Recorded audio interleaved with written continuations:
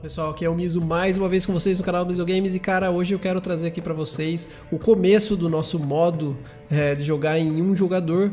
Eu vou começar a fazer aqui os desafios com vocês, eu não fiz nada até agora. E eu queria deixar avisado também que nós vamos começar a criar alguns vídeos bem básicos ensinando todo mundo a jogar, bem tutorial mesmo assim. É, será uma, uma série que eu vou fazer, né, de três vídeos, eu estou preparando eles, eu quero deixar bem editadinho e bem explicado para todo mundo que está começando no Gwent ou quer aprender, é, conseguir acompanhar de uma forma bem tranquila, tá? Mas enquanto eles não ficam prontos, nós vamos avançar um pouco aqui, senão eu vou ficar muito parado na conta do Gwent, como vocês podem ver aqui se a gente voltar. Eu ainda tô nível 1, eu ainda nem joguei, então é melhor a gente começar a fazer essas coisas para não ficar tão atrás. A galera já tá fazendo ranked praticamente desde o dia 1, né? Já tinha galera fazendo ranked desde o dia 1, as classificatórias lá. Mas então, sem mais delongas, vamos ver aqui o que nós temos de desafio. Nós vamos fazer todos os desafios juntos, porque vocês deixaram um feedback aí, uns comentários no, no, num dos vídeos que eu perguntei isso e a maioria das pessoas deu um sinal positivo aí que era para eu começar a gravar esse tipo de coisa, beleza? Então a gente já fez aqui os princípios básicos, esse daqui é o tutorialzão bem simples mesmo. Aí tem a parte de gerenciamento de baralho aqui, eu vou fazer ela rapidinho e daí a gente fecha esse vídeo com essa parte, beleza? Aí depois eu vou fazendo cada um dos desafios aqui.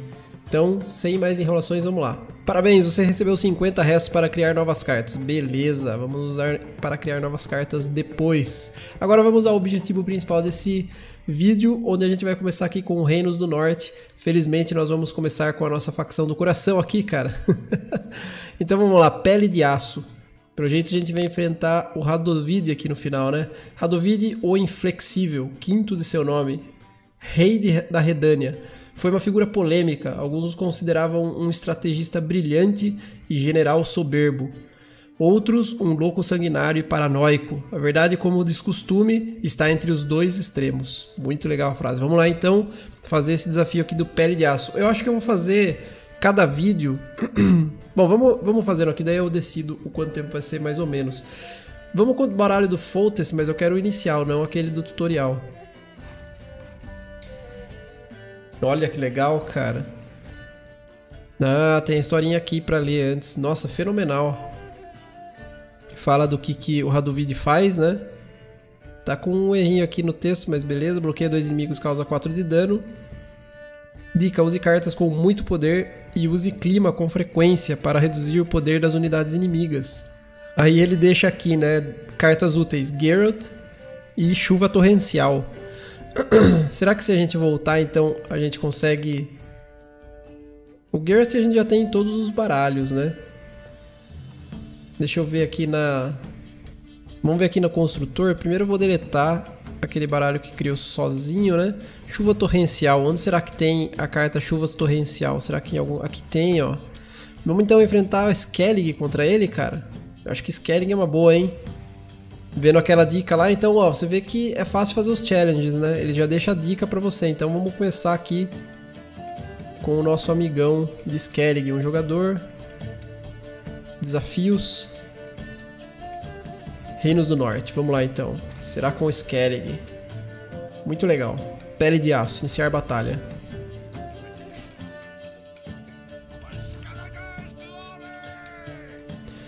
Alright. Tá, vamos ver o que a gente pode... Ó, já veio até a chuva torrencial aqui, cara. Uh, eu acho que a gente pode se livrar de uma sacerdotisa por enquanto. Substituir ela aqui com o Mulligan. O resto eu acho que até que tá bom. Corneta agora, será? Acho que eu vou substituir a corneta agora, cara. Tá, outro desse cara, ele falou pra... Uma das dicas era usar unidades altas, né? Esse carinha aqui até que é bem alto. Mas eu acho que ainda vou arriscar comprar outra coisa. Tá, perfeito, cara. Veio um escaramuçador aqui que é muito bom. A gente já começa abrindo com ele, então. Ele é uma, uma, uma carta que tem veterano, né? Então ele fica mais forte a cada rodada. Ele vai ganhando um de força, ele fortalece a si mesmo. e também ele é, ganha 3 de base de força, ele for, fortalece a si mesmo quando ele vai para a pilha de descarte. Então depois, mais pra frente, a gente consegue ressuscitar com a sacerdotisa e deixar ele bem forte.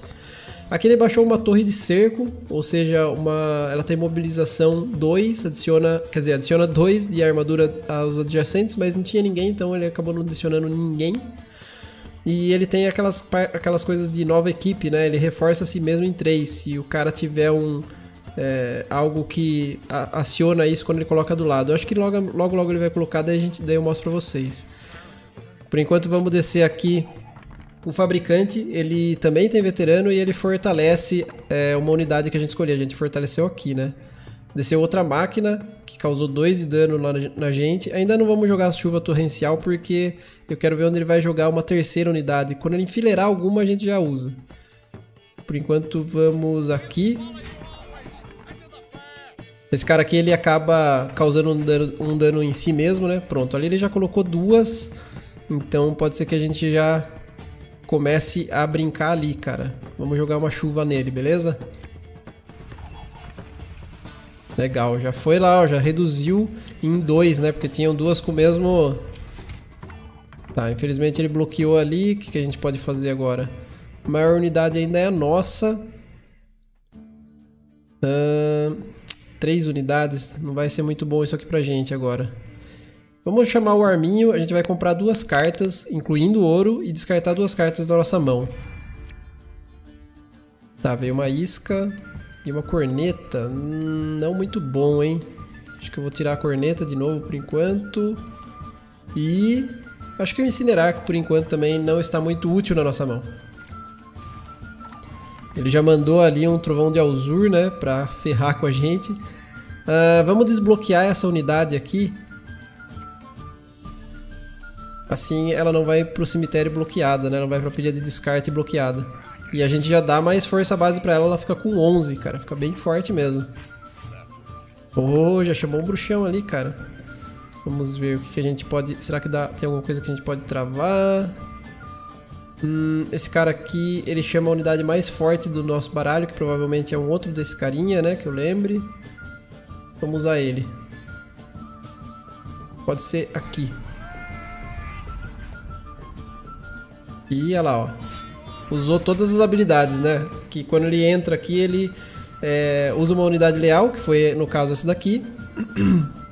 A gente acabou fazendo bastante ponto porque ele fortalece em 3 e depois causa um dano nela. Ela também causa um dano em si mesma, é um monte de mecânica é, se ativando, né? Vencemos a primeira rodada, então a gente pode passar tranquilamente aqui. Deu pra, deu pra levar essa primeira do Radovid, hein? Infelizmente agora a gente tá sem clima. Eu acho... Ó, esses carinha tem veterano, ele eram 5, agora eles ficaram 6, né? Vamos substituir esse cara aqui, um desse cara.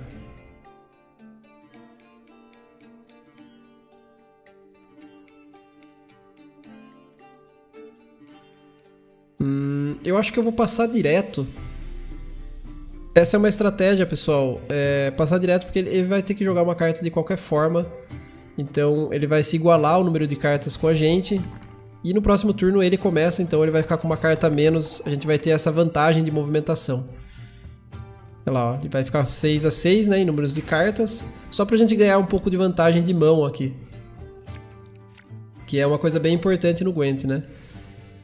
Quem que a gente pode tirar agora aqui? Uh... Dudu até que é um pouquinho interessante. Eu acho que eu vou tirar um desse cara aqui, viu? Legal, veio um decreto, a gente pode usar uma carta ouro. A gente já pode mandar o Garrett de, de boa agora, logo de cara, porque como ele é ouro, né? Vamos lá, ó. Manda ver, Garrett. Como a gente tá perdendo, ele vai acionar a mobilização dele e vai ficar mais forte. Vamos jogar no cerco. Olha lá, ó. Opa, ele não ficou? Mobilização corajoso fortalece a si mesmo.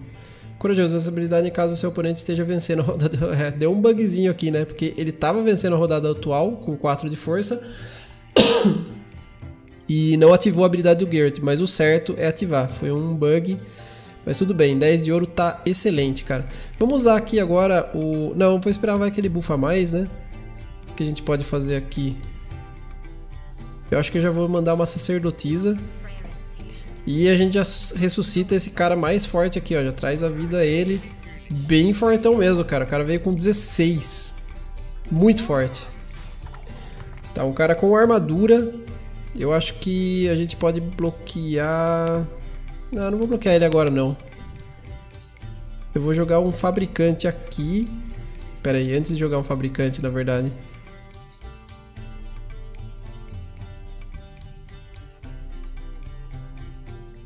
A Tris.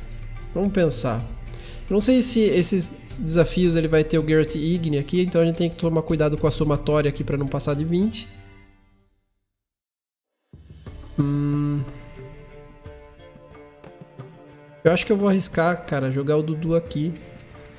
Pegar essa força dele por enquanto. Dudu copia, né? Nosso amigo ali. Tá, agora que a gente tá com o fabricante, vou jogar ele nessa linha. E vou acabar adicionando um pouco mais aqui de força, ele vai ficar com 14. De força base. Nossa, quanto cara com armadura, cara. Tá, aqui acho que agora a gente já pode começar a reduzir o, os pontos dele, né?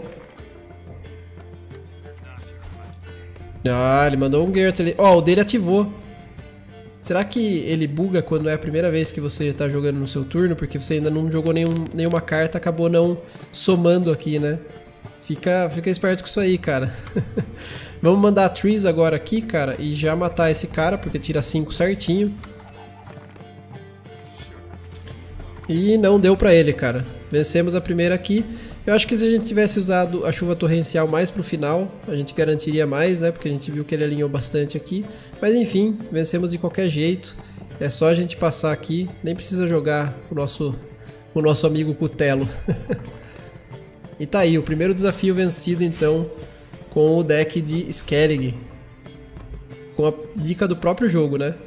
Então beleza, vamos fechar aqui. Bom, com isso a gente recebeu aqui 25 minérios, o que é excelente. E agora a gente vai ver do que se trata aqui a vantagem numérica, cara. Vamos escolher qualquer um por enquanto, para ler aqui, né? Soldados humanos não são tão fortes como anões, nem ágeis como elfos. Mas eles têm uma vantagem clara sobre as duas raças ancestrais, seu número. Reúna uma multidão de humanos, coloque espada em suas mãos e um comandante aceitável na frente. E nada poderá detê-los. É, meu amigo. Nossa, muito legal esse fundo aqui. É, o Radovid então é a mesma coisa, a gente vai enfrentar o Radovid ainda.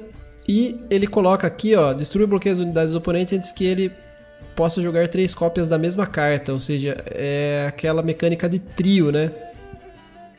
É, cartas úteis, Manilha de Nimerítio e Trovão de Alzur. Vamos dar uma olhada aqui nas cartas para ver quem que tem no, nos decks iniciais, quem que pode ter isso aí, cara. Ó, Trovão de Alzur a gente tem aqui, esse cara não deixa de ser... É, não é uma manilha, né? Mas tem um anão que consegue fazer força. Tá, por enquanto, acho que o Scoia'tael é legal. Vamos ver o de monstros. Ah, tem o de Nilfgaard também, né? Vamos ver Nilfgaard. O que, que vem nele. Nenhum aqui tem também, mas tem o Rotosser. A gente pode destruir várias unidades iguais. Hum, é interessante esse cara, hein? E ele tem um trovãozinho de Elzur, tem um Incinerar, que parece que todos os decks estão vindo mais ou menos assim. Esse cara dá dano, então pode ser que a gente mate alguém. Eu acho que é uma boa, hein? Vamos tentar então com o deck de Nilfgaard, cara. Vamos lá, vantagem numérica, iniciar batalha.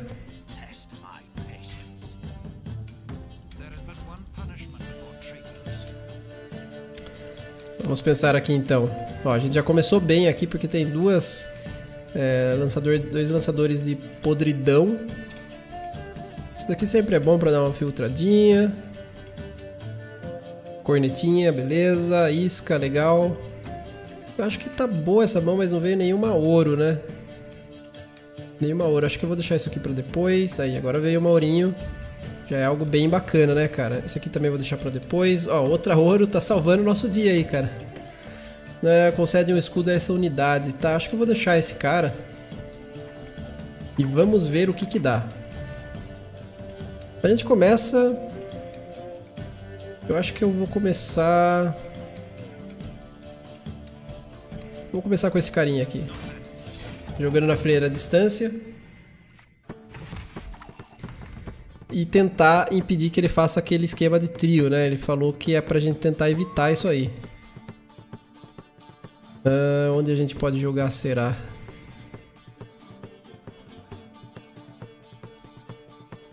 Eu acho que eu vou mandar um espião lá atrás. Poxa, só essas duas coisas veio horrível, cara. Horrível. A gente vai ter que jogar e ele não tem nada no cemitério, a gente não vai poder pegar. Eu realmente não vi que a gente tinha muitos disso daqui, então vamos deixar isso aqui pra trás. E ao mesmo tempo ele deu uma baita de uma bufada ali, né, cara? Vamos aproveitar e fazer o que? A gente tá perdendo? Eu acho que dá pra tentar jogar um Garrett aqui. Vamos colocar ele lá na frente. Agora vamos ver se ativa certinho aqui. Ó, não tá ativando, hein? Mobilização, corajoso, fortaleza. Corajoso, esta habilidade é usada caso seu oponente esteja vencendo a rodada atual. E não tá habilitando, hein? Era pra ele ficar 13. Tá, ele chamou os bruxos de novo, o que não tem tanto problema. Vamos trazer o nosso amigo aqui, porque essa mobilização vai conseguir dar um tiro mais forte, né? Vai reduzir 5. Tá, ele vai travar duas unidades nossas, o que não é lá muito importante. A gente pode mandar... A gente pode mandar aqui... Será que já vale a pena passar? Tá 7 a 7 Não, acho que não. Daria pra gente usar aqui a vaca e matar esse cara. O que não é uma má ideia não. Uma vaca não, uma... uma isca, né? E ao mesmo tempo ele vai ficar mais forte também e resetar, tirar aquele... Aquela trava que ele colocou, né? Aquele lock. Aquele bloqueio. O nome certo é bloqueio. Tá, ele colocou um carinha com armadura, o que é bem chato. Agora que ele já, agora que já tem umas unidades ali, vamos arriscar de novo o nosso amigo aqui para ajudar a dar uma filtrada no deck também. Acho que eu vou pegar o, o Combat Engineer e vamos deixar ele esse, esse aqui pro próximo turno, ó. vamos deixar ele com uma resiliência ali, né? Enquanto isso ele tá fazendo força ali, ó, doidado, hein? O que, que a gente pode fazer? Bom, a gente pode começar agora a bombar as fileiras dele ou passar, porque a gente já vai ter força 8 aqui, ó. Vamos passar essa daqui, não vamos ser tão é, ambiciosos. Ele ganhou com a mesma quantidade de carta, o que é excelente, né? Mas aqui a gente já vai começar com um 8. E aqui eu vou me desfazer de... Ele tem alguma coisa, algumas coisas que buffam a unidade, então acho que eu vou deixar esse cara. Acho que eu vou me desfazer da corneta. Apesar dela ser muito boa. Ok, acho que a gente já pode começar a trazer algum... Dar uma filtrada aqui, né? Vamos usar um reagrupamento. Trouxe mais um carinha de escudo. Não é nada mal. Nada excelente, mas também nada mal. Olha só, ele tem mais do que três unidades desse daqui na mão. Interessante. Bom, vamos lá. Começar agora os nossos serviços com as, as vacas, cara. Tá, ele já mete uma triz ali que é bem complicadinho, hein? Uh, deixa eu ver o que mais que a gente pode fazer. Se a gente der... Esse cara dá quanto? 3 de dano? Não adianta muito, né? Esse cara reseta... Não tem nada que tá muito assim excelente. Vamos destruir isso aqui e daí a vaca acaba destruindo esse cara, né? É o que a gente espera. É, na verdade vai destruir esse cara aqui só, tá bom. O que a gente pode fazer agora é jogar o Emir. E fazer a jogada da vaca de novo agora, ó.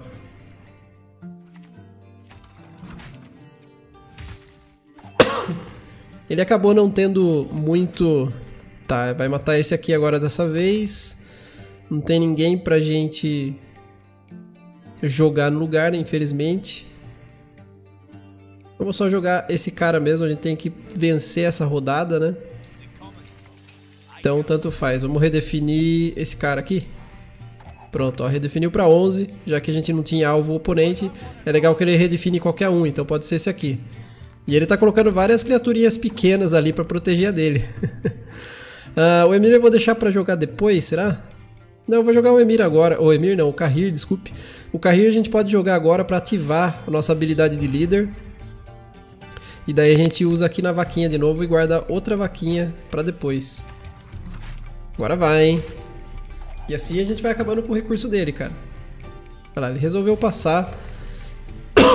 Ficamos ambos com uma carta na mão, mas nós vamos começar na próxima rodada, então é um pouco arriscado. Vamos ver o que, gente, o que, que vem pra gente. Belo não é tão bom, mas não é tão ruim também. Acho que nesse momento não é tão bom. Ah, isso é excelente porque a gente vai conseguir puxar alguma coisa dele. Será que a gente... Vamos, vamos dar uma olhada, ó. As cartas deles, a maioria é de corpo a corpo. Então, vamos tentar já jogar a vaca na fileira corpo a corpo aqui pra ver se ele tem alguma coisa. tá, infelizmente veio aquilo ali. Não vai ser dessa vez. Uh, tentando abusar da IA, né, cara? Ah, dá pra gente tentar... Não, não vamos arriscar não. Vou pegar um cara bem sólido aqui, ó. Pra gente tentar fazer bastante força. E agora ficou só aquilo ali pra ele. Se ele tiver... Provavelmente essa carta era aqui, ó. Ela vinha aqui, sei lá, alguma coisa assim. ah, inteligência artificial é engraçado, cara. Enfim, ou devia ser alguma carta de especial que não tinha alvo, sei lá, alguma coisa nesse sentido. Mas enfim, vencemos aqui mais uma vez usando praticamente a dica que deram pra gente, né? Vamos ver a terceira mecânica, qual que vai ser. Ó, ganhamos 50 minério, que é excelente, cara. E eu vou encerrar esse vídeo então, eu vou sempre fazer de 3 em 3. Assim ficam vídeos não tão longos pra vocês, beleza? Vamos só dar uma olhada no que é aqui. Morte galopante. Radovid disse a seguinte frase célebre. Não há problema que não possa ser resolvido por um ataque galante de cavalaria pesada. Alguns duvidam dessa afirmação. Essas pessoas obviamente nunca viram cavaleiros redenianos em ação. Olha só, hein? Dica: evite causar dano a unidades inimigas. Olha lá. O dano será bloqueado pela armadura deles, delas. Em vez, em vez disso, enfraqueça e bloqueie essas unidades. Cartas úteis, Ciarán e a Margarita, Marguerita. Vamos então dar uma olhada lá, cara? Bom, o Ciarán nós sabemos que é do de Scoia'tael, né? Um elfo de Scoia'tael. Então vamos ver se ele tem aqui. Cadê o Ciarán? Ah, ele não vem no, no, no, baralho inicial. A Margarita, será que vem no deck de... De Reinos do Norte? Ou será que a gente tem que criar elas? Vamos ver aqui. Margarita... É, realmente não veio. Bom, quem que tem mais coisa que bloqueia? Acho que todos têm o mesmo número igual, né? Ele fala pra gente tentar evitar dar dano. Mas em compensação, se a gente pegar algo que dá dano constantemente, por exemplo, a Felipa dá muito dano, ele bloqueia, que é algo excelente. Esses caras ficam se bufando. Eu acho que eu vou enfrentar Reinos do Norte contra Reinos do Norte. Do jeito que tá aqui, cara. Lembrando vocês que a gente tá tentando fazer com os decks iniciais mesmo, para provar para vocês que dá. Não sei mais pra frente se fica... Opa! Não sei mais pra frente se fica super difícil os desafios, mas até onde der nós vamos fazer com os decks iniciais, cara. Vamos lá, Morte Galopante. Vamos com Foltest. Iniciar batalha. Legal. Vamos ver o que, que, vai ser bom contra ele aqui, ó. Ela é excelente, que ela dá muito dano, ela também dá dano. 3 ouro é sempre excelente, né, cara? Eu acho que isso aqui também, porque a gente vai fazer bastante unidade. A isca, eu não sei tão bem. Tem esse cara pra invocar cópias, né? Então a isca pode ser útil, isso aqui é muito bom. Esse também puxa. Eu acho que tá uma mão muito excelente pra gente enfrentar esse tal de Hadovir. Alright, dessa vez ele já começou trazendo os três, cara, muito legal. No início dessa reforça unidade, tá. Vamos começar então com o nosso cara que também tem armadura. Olha lá, ele também tá nessa. Vamos começar agora com esse cara aqui. Enquanto ele tiver armadura, no início do turno ele vai reforçar um as habilidades adjacentes. Vamos colocar mais habilidade, mais unidades adjacentes para ele então. Descer esse cara para puxar outra, bron outra bronze que com certeza tem outro desses caras no deck. E pronto, agora eles vão começar a se bufar ali, cara. Ah, infelizmente ele bloqueou, bloqueou duas cartas erradas, né? A inteligência artificial devia bloquear essa daqui, que vai começar a reforçar as laterais.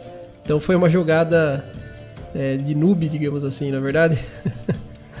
Vamos tentar puxar algo aqui, cara, porque parece que o deck deles, deles não é de clima, né?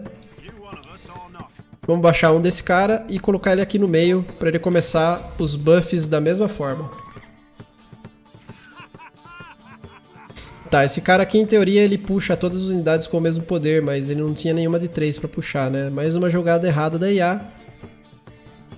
Eu acho que a gente pode começar agora a causar uma quantidade de dano significativa, será? Esse daqui usa 3 unidades. O Foltest... Oh, esqueci de fazer o Foltest, cara. Que vacilo mesmo. O Foltest ele tem uma habilidade que ele reforça todas as unidades na mão, no deck, em qualquer lugar. Então vamos usar agora, mas foi um grande super vacilo meu, porque todas as cartas já eram pra estar tá forte. Então fique ligado aí você quando for fazer. Eu ainda tô bem desacostumado, né? No, no Gwent novo. e olha, elas estão se bufando ali, ó, tá vendo? O que é excelente.